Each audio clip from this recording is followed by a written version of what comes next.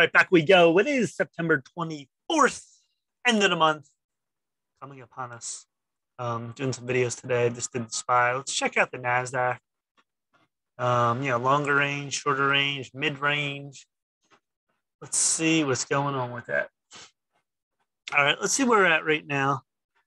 All right, so NASDAQ peaked at this candle here, 16,212. And look where we're at now, 10,867. Wow. All right, so you had to move up.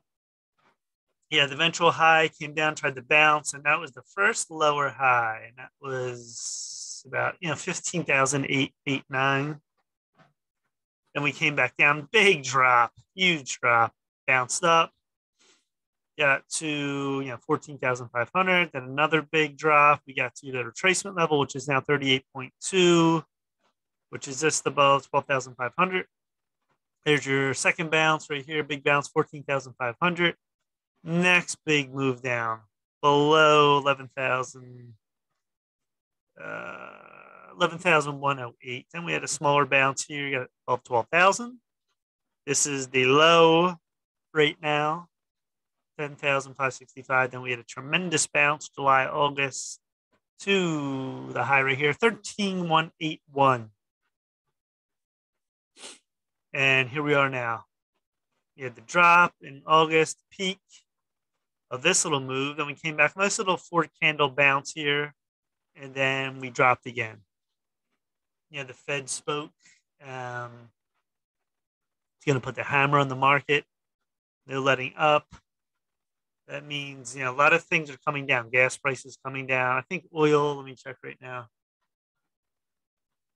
Oil is at 79.43. Crude's dropping big time. Yeah, a lot of things are dropping. Uh, lumber, lumber was down 25%. Palladium, let me just bring the screen over real fast.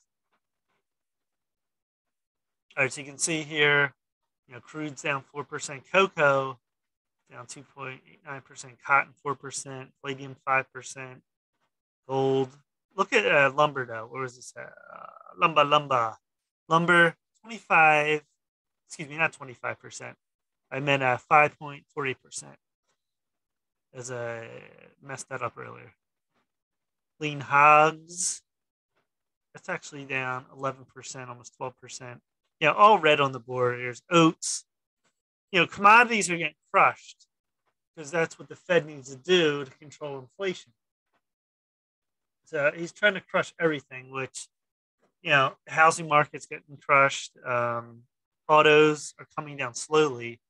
You know, oil, I say gas prices, food. I don't think food's coming down that fast, but maybe it's coming down at this point a little bit. Um, you know, we'll see what happens as this plays out.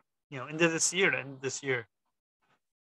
Yeah, how this is going to play out. Is it going to be a massive recession? Um, He's trying to kill the market. He's trying to kill the stock market, housing. Everything has to come down from, you know, the COVID low, free money. Everyone's getting 1,200 checks.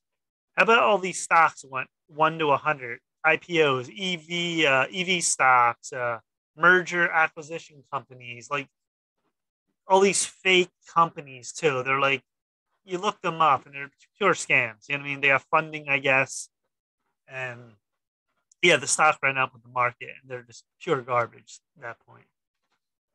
Yeah, we'll see what happens here. And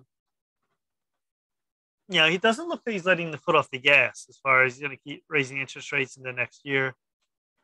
So, yeah, this is looking pretty bad at this point. To me, 2000, 2008, and now, you know, of course, these are the top three drops in the market, you know, in recent times. We'll see where this compares, how this finally ends. All right, so let's see. Um, all right, we have a, this is a um, on my uh, excuse me on my YouTube channel too. I do a lot of education stuff. People, you know, don't know the market. They don't understand what all these lines are. They're probably looking at it like it's you know foreign language.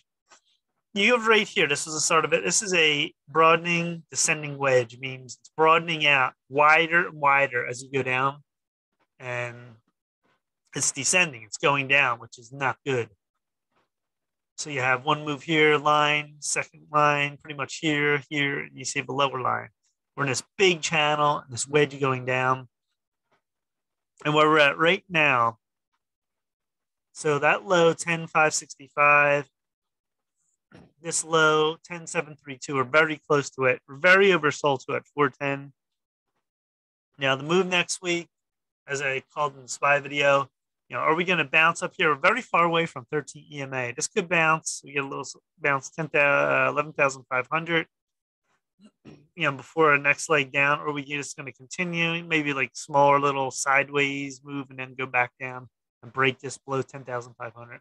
I don't think we're just getting a rally and going straight up to 12,500 this line. You know, right off the bat, just because we're oversold. I don't think so. You know, anything's possible.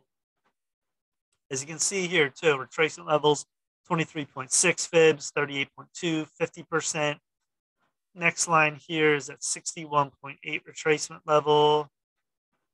And that would be about 10,304, which is very um, doable at this point. And it looks like that COVID high is, let me see here if I can see this little candle. That'll be 98.38. I think that's a next level to right around that, you know, the 10,000 mark's huge. It's a significant number, you know, 10,000 whole numbers or like 10, 15, 20. So 10,000 we'll watch. And see this wedge too, this broadening wedge as we're going down. It's getting wider and wider. So I have a line right here on that COVID low. Now it looks like this ultimate line could be about just above 8,000, 9,000. And that could be the ultimate low. We'll see. Let's look in the weekly. a weekly going back, you can see that high in 2000.com. And there's your high line now with the all time high. And here's your low on the other side, which is 2016. There's 2020, the COVID low. See what I mean? It goes right here. And, you know, that will be the next possible low of not recent, but not a recent low, but eventually that could be the low. And you can see weekly we're going down. This is straight down. This is not good in stochastics. Monthly, all right, take a look at the monthly. The monthly at the dot com, look at this. It ram up. Big move up. 95, 98, 2000. Look at that. Look at that peak. And went right back down. Total pyramid almost. Look at this. Up, down, then we crashed. So that's the high. Draw your line here, the all time high, and that's your highest line ever. Here's your lowest line, 2016. A little bit off to 29 if it's the chart here. I could actually put another one. We'll see. It could be the chart. Sometimes the charts didn't exactly match up. You draw this at 2016. All right, so yeah, the COVID, I don't know COVID, 20, 2009 financial crisis low. There you go. And that's the 2015 16 we're pretty much went sideways in the market. Here's 2019 there's a covid so. Yeah this low that might be a little off because it could be just the charting but you know we'll say 7000 that'll be um, you know, extremely overshoot low. 8000 to me 8000 9000 could be the bottom here could be eventually the ultimate bottom and then we'll see if we get when we get past 10,000. I think that shouldn't be a problem. We'll blow past that to the low. Look at this too, the 13 EMA above 20 EMA. How this was going up. And now look at this. It's on the other side. It's actually the 20 EMA wants to cross over, which is extremely bearish. And look at right here. Stochastics, 1995. It did cross up that nice little move. Now it looks like it's touching again with it cross back down, which is not a good sign. And right now, look at this. This is I'm trying to see here. The low on stochastics. I can get that. 963 on NASDAQ COVID. Uh, the COVID plus the drop we have now. Oh, there's COVID. I'm sorry, not COVID. I mean the drop we have now. So 963 financial crisis looked to be about 13. So we're actually beat that and it looks like the dot com crash, the low on stochastics was 544. So on NASDAQ, that was probably the biggest drop ever. Stochastics, this looks like the second biggest. You know, could we go even lower? It's possible if this crosses goes back or could retest that.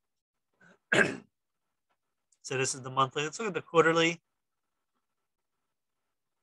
Look at the quarterly. You can see on that 1994-95 move all the way up to the dot-com crash. Look at how this thing was moving. And see again, look how far away your 1320 EMA is. When you're any stock, day trading, um, swing trading, we get that far away. That's not a good sign.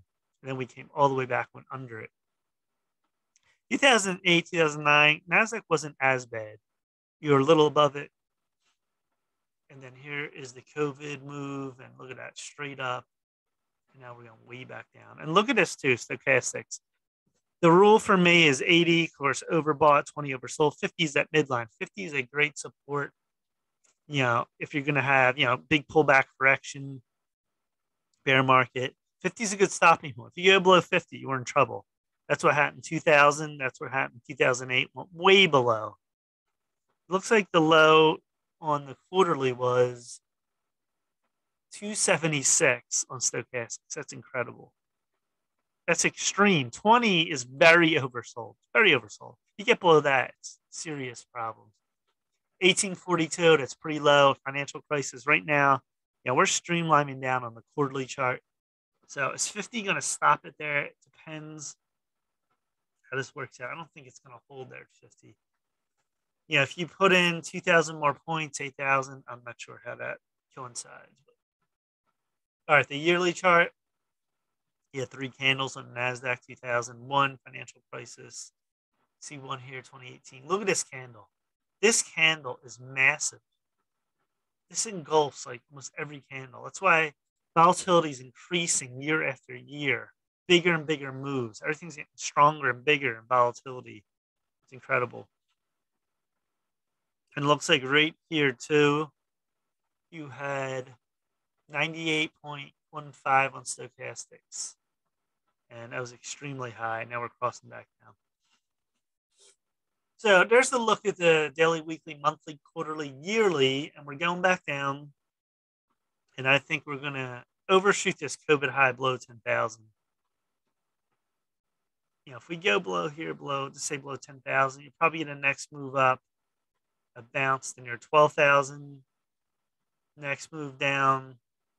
That could be the final leg, or January, February, possible it'll be 9,000, you know, 8,000, then we bounce up again. We'll see how this plays out. This is classic broadening, descending wedge. You had that COVID low, that line going across, that would be tremendous support around that eight to 9,000 level on the NASDAQ. So there we go. We'll see what happens immediately next week. If we continue to waterfall and break that low in June, then eventually get a nice little bounce which would be, you know, the highness bounce, I say it's going to be lower because we keep going lower on the highs. So probably like 12,500. We'd look for that. Maybe 12,000. So we'll see on that. So that's the NASDAQ too. NASDAQ is ugly. It's, um, you know, the high was 16,000. It's now at 10,867. Yeah, a lot of stocks getting stocks getting crushed. Uh, Amazon, Microsoft, uh, what else? a lot of these tech stocks are just totally uh, hammered at this point. So it's not looking good. How long will this bear market last for you know all the indices? It's hard to say. It's going to last until it doesn't, until something breaks, something you know officially ends it. Uh, the Fed, you know, we'll see how this plays out. All right, so that's it. Please subscribe to Mike Cayman Trades Alerts on YouTube. Smash the like button. Check out any links below um, on my links below for Twitter, StockTwits. Uh, what else do I have?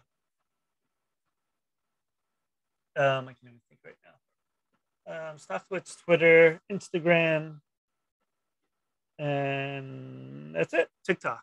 Peace.